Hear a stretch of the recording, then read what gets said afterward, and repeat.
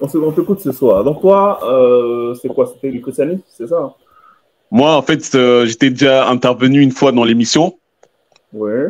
J'avais déjà précisé effectivement que de base, euh, voilà, j'ai grandi auprès de ma grand-mère qui était traditionnaliste. D'accord. Et quand je suis arrivé ici en Europe, je me suis retrouvé justement avec une forte communauté musulmane. Mhm. Donc du coup, de base, voilà, j'étais non pratiquant, je pratiquais pas. Mhm.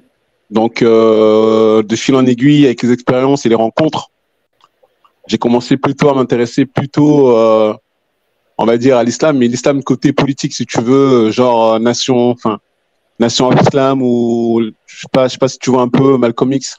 Oui, oui. Mhm. Donc moi, c'était plutôt ce courant-là que j'avais pris en fait. Mhm. Donc euh, en gros, si tu veux, euh, au début, ce qui m'a vraiment Au début, c'est- bon, bon, forcément, euh, ces religions étrangères-là, notamment l'islam ou les religions euh, chrétiennes, même si t'es- ta grande était dedans, ton, ton- père, par exemple, il était chrétien, c'est ça? Mon père, ouais, il était entre guillemets, il est protestant, mais mon père, il a jamais mis un pied à l'église, quoi. Ah, oui, oui, oui, ouais. On, on voit ce, ce genre de protestants-là. On les connaît. Protestants pour le quartier, pour les, pour les ondis, Exactement. ça, on, on les Exactement. connaît. Donc, toi, tu n'as, Exactement. donc, c'est vrai que toi, tu n'as pas vraiment grandi dans ces religions-là. Et après, tu décides d'aller. Donc, toi, tu fais le, le chemin inverse. Que tu sors, entre guillemets, des traditions dans lesquelles tu es Ouais. pour aller dans l'islam. Oui, mais parce que en fait, euh, Imhotep, comme je le disais lors de ma première intervention, c'est que quand tu arrives ici en Europe, Mhm, euh, ici, en gros, chacun est dans son chacun, comme on dit euh, chez nous au pays. mhm, Et en fait, il y a un gros perte de sens ici, tu vois? c'est ça. Donc, euh, il y a beaucoup, enfin, il y a beaucoup de gens qui, qui se retrouvent désœuvrés, perte de sens, perte d'orientation, perte des origines. Tu, tu n'as plus d'aiguille, en fait, si tu veux. Mhm, Tu vois? mhm. Donc, du coup, arrivé à un moment de ta vie, tu te poses les vraies questions et tu, tu, tu veux donner du sens à ta vie et surtout, tu veux mettre de l'ordre dans ta vie. Tu comprends? Mhm. Donc, du coup, euh, forcément, c'est pas les, c'est pas vers les camines que tu vas aller puisque les camines, tu tu- t'es même pas au courant qu'ils existent. C'est vrai. Tu vois? Mhm, Donc, tu commences à t'intéresser à la lutte des Noirs, à la lutte des classes sociales euh, afro-américaines et tu t'intéresses à Malcolm X. mhm. Et donc, du coup, nous, voilà, tu, tu apprends à connaître le personnage, tu vois qu'effectivement, il est dans le, dans le, dans le combat. Mhm. Donc, euh, moi, c'est, mon parcours, en fait. Je commence à acheter des bouquins de Malcolm X, à les lire, à comprendre un peu, euh, les, les enjeux. Et, euh, de fil en aiguille, je me suis intéressé à la nation of Islam. Et, euh, c'est comme ça que je suis rentré, en fait, si tu veux, dans l'islam. D'accord. En gros, c'est, euh, c'est, on va dire, c'est le, le- le mouvement de résistance hein, ou d'émancipation des Noirs qui. Mais j'ai toujours eu, j'ai toujours eu, si tu veux, comme je disais la première fois quand je suis intervenu, Mhm. j'ai toujours eu cette, euh, cette appartenance, cette attache à ma terre, à mes origines. Mhm. Tu vois? Et Mhm. Malgré que je sois devenu musulman, culturellement, je n'étais pas dans cette, euh, comment dire ça, dans cette euh, oubli de ma culture ou bien de, mes origines. Tu vois? Et euh, l'une des choses qui me tracassait le plus, c'est quand on prie, pourquoi on se dirige vers chez les Arabes, en fait. Ça, ça me gênait, ça. Mais il, disait quoi, les frères, là? Puisque la nation of, of Islam, en majorité, c'est des Noirs. Des Noirs qui revendiquent une certaine euh, c'est quoi, appartenance. euh, ils disent que l'islam est africain, c'est ça hein? Non, il part du principe que le prophète, c'est le prophète Elijah Mohamed, en fait. Ah, Ouais. En fait, c'est c'est une autre branche, en fait, si tu veux. Eux, Ah, en fait, leur prophète, c'est pas le prophète Mohammed. ah d'accord. Ouais. Eh ben, D'accord, ok. C'est vrai que je- j'ignorais ce point-là. Ouais. Je suis jamais vraiment intéressé à la nation of Islam. J'ai des Ouais, et c'est et, et c'est parce que justement Malcolm X a découvert que effectivement le vrai islam c'était l'islam ou du moins euh, noir, blanc, euh, jaune, vert, peu importe les couleurs. Quand on quand il est parti à la Mecque, il est revenu, il a vu qu'effectivement en fait que c'était pas tous les blancs qui étaient qui, qui oppressaient les noirs et que l'islam il y avait un autre islam et du coup il a vu entre guillemets euh, une euh, la vraie euh, la vraie religion donc il a commencé à se détacher un peu de nation of Islam, tu vois. Ouais. Donc en gros, tout ça pour dire qu'effectivement, les nations islam, ils ont vraiment leur doctrine à eux, Mhm, tu vois. mhm, mhm. Donc euh, c'est pas du tout ce qu'on croit en fait. Ok. Ouais. Donc, du coup, en gros, voilà. euh, Donc, bon, c'est- une parenthèse. hein. je, sais ce que tu diras, mais c'est important que tout le monde sache. donc, toi, aujourd'hui, est-ce que tu conseillerais quelqu'un à aller dans la Nation of Islam? Sincèrement, pour mettre de l'ordre, oui. Parce que la vie, la vie est une question d'étape, euh, Imhotep. Hmm. Je pars du principe que il faut être structuré. Quand, dans tout ce que tu fais, il faut que tu sois carré. Hmm.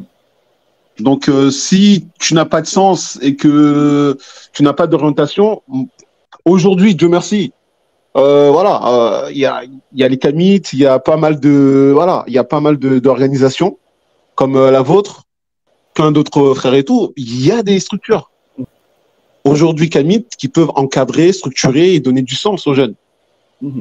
Mais euh, sincèrement, à l'époque, il y a, on va dire, il y a dix ans, tout ça n'existait pas. Mais si maintenant, comme tu dis qu'il y a des structures aujourd'hui Camille qui existent, pourquoi tu conseilles aux gens d'aller dans le National Islam? Aujourd'hui, malheureusement, quel que soit l'endroit où tu te trouves, tu ne connais pas, tu ne connais pas de Camille autour de toi. Malheureusement, je parle bien malheureusement. Mhm. Je dis bien malheureusement. Mais si autour de toi, tu as la chance et la possibilité, la capacité justement de rencontrer des kamites qui sont dans des structures cadrées, vas-y. Moi, je t'encourage, tu gagnes du temps. Mhm. Tu gagnes du temps et surtout, voilà, tu, tu, tu, tu es en cohérence avec, euh, avec tes ancêtres, quoi. Donc, du coup, moi, je te dis, vas-y, fonce. Mais je pars. En gros, ce que tu dis, pour vraiment bien que les gens comprennent, c'est que toi, tu ne dis pas forcément dans l'absolu d'y aller, tu dis simplement que s'ils ont l'impression de se sentir seuls qu'ils ont l'impression qu'il n'y a aucun mouvement kamit autour de structurer qui pourra leur permettre euh, d'atteindre leurs objectifs, et que si jamais il y a une religion comme la of Islam à côté hein, ou près d'eux, ils peuvent y aller comme une étape en fait. C'est une étape. Tu dis. Exactement. Parce qu'ils ne sont pas du tout dans la vérité. Hein. Ils sont vrais. Euh, pour eux, voilà, euh, eux, pour eux, ils se considèrent pas comme des Africains, ils se considèrent comme des Asiatiques ah. dans leur doctrine. Donc, euh, tout ça pour dire qu'effectivement, les mecs sont vraiment à côté de la plaque. Hein. Mais dans ce cas, dans ce cas, dans ce cas, si, c'est comme ça, j'essaie de comprendre la logique. Dans ce cas, tu vois que c'est peut-être dangereux, ça peut être dangereux d'envoyer quelqu'un là-bas.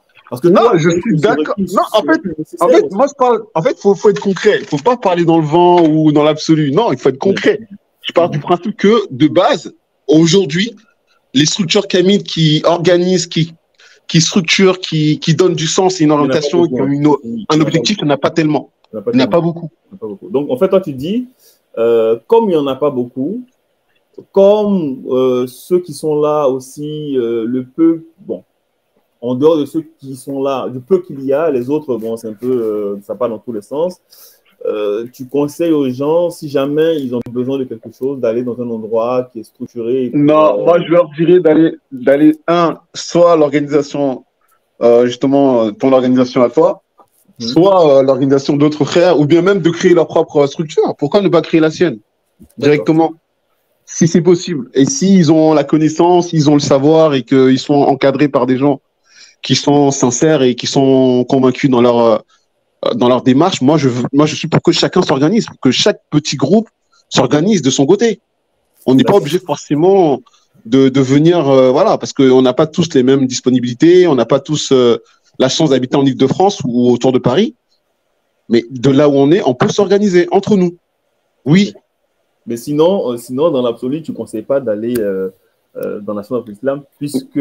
Non, c'est une perte de temps. Mais maintenant, euh, comme je dis, eux, ils sont hyper structurés, ils sont partout en France. Et euh, malheureusement, bah, je trouve que nous, on n'y est pas encore, tu vois. Ils sont, ils sont, ils sont ah. beaucoup plus structurés. Ils sont beaucoup plus structurés. Ah oui, ils sont très organisés. Disciplinés. Ah oui. Il n'y a même pas de doute là-dessus. Que, que les camis. Bien sûr. Sur ce point-là, je peux être d'accord avec toi. Parce que euh, pour avoir côtoyé euh, pas mal, notamment le président de National of Islam France, Sid Tilo, hein, pour ceux qui le connaissent ou pas, euh, c'est des gens qui sont. On a même invité même une de leurs. non, non, même pas une, leur porte-parole qui est venue un jour dans notre nouvel an qu'on a organisé. Voilà. Et la sœur Yako, je ne sais pas si vous la connaissez. Et c'est vrai qu'ils sont structurés, ils sont très bien organisés, euh, leur fonctionnement, leur code. Euh, c'est beaucoup de, secrets, beaucoup de codes, même pour rentrer, on n'entre pas comme ça facilement, même si ça a l'air facile. Mais il y a un mhm. questionnaire qui est fait, il y a des entretiens qui sont faits, donc euh, pour essayer de voir un peu. Bref, il y a toute, une organisation. Maintenant, comme tu dis, la réalité, c'est qu'ils sont dans euh, des visions lunaires, quoi. Ils ont leur. Ouais, ils sont dans une doctrine, quoi. En fait, c'est dommage. Hein. En fait, l'organisation, elle est bien faite, mais l'objectif ou la vision, elle n'est pas. Hmm. Tu vois D'accord. Maintenant, euh, aujourd'hui, tu es sorti de tout ça. Euh, comment tu te définis aujourd'hui, toi? Je ne sais pas si c'est important même d'en parler, mais c'est toi qui vois. Euh, tu te définis quoi tu, es, sorti de Nation of Islam. Hmm. D'accord Tu as expliqué que justement, c'est par rapport à leur doctrine, leur façon de. c'est ce qui, toi, t'a poussé à vraiment sortir de là pour vraiment. Est-ce que c'est parce que tu as découvert les camis que tu es sorti de Nation of Islam directement ou bien même de découvrir des camis, leur fonctionnement ne te plaisait pas et t'a poussé à sortir? En fait, si tu veux, je... la chose qui me, qui me dérangeait, c'est que je voulais être africain pleinement. Donc, tu vois. Moi, c'est ça, en fait. Une fois que tu prends conscience, effectivement, de la richesse euh, de ton histoire, une fois que tu prends conscience de la grandeur de ton peuple, de tes origines, une fois que tu, te, tu veux te reconnecter à tes ancêtres, tu peux plus rester dans quelque chose qui, qui comment dire, il y a islam dedans, islam qui dit islam dit histoire, histoire d'islam. Et l'histoire, elle n'est pas en faveur, euh, enfin, je sais pas, il y, a, y a une antinomie, il y a une contradiction. Mhm. Tu vois? Mhm, mhm. Et euh, surtout, si tu veux être cohérent avec ta démarche de retour vers l'ancestralité, de reconnexion aux ancêtres, c'est dur de, de, se dire kamite et d'être, enfin, d'être, je vais pas dire musulman, mais de faire partir d'une organisation comme Nation of Islam. Les deux sont incompatibles. Parce qu'ils n'ont pas la même vision. Ils n'ont pas la vision. En gros, les deux luttent pour l'autodétermination du peuple noir. Mm-hmm. Mais l'un a une vision euh, euh, afro-américano-asiatique, mhm. alors, alors que les Kamites, ils ont une vision afro-centrée. C'est ça. Donc, à partir du moment où euh, tout doit partir de nous-mêmes et tout. Enfin, je pars du principe que la vision, entre guillemets, de, du Kamite, c'est d'abord l'Afrique, avant et par-dessus tout. Mhm. Donc, euh, je peux pas non plus, voilà, moi, regarder, regarder vers, euh, vers l'Asie, regarder vers euh, l'Amérique, alors qu'on sait que tous les êtres humains qui ont, entre guillemets, j'ai bien dit, qui sont partis sur le continent américain, tous les Afro-Américains, ils viennent d'Afrique. Mhm. Donc, si je dois me concentrer, c'est plutôt vers une doctrine 100% africaine, enfin 100% kamite. Mhm. Donc, pour moi, j'ai trouvé qu'en fait, en gros, euh, voilà, les finalités, ne... on, prend le même chemin, mais on va pas dans la même direction. Mhm. On prend le même chemin, mais on ne va pas dans la même direction. Ok, super.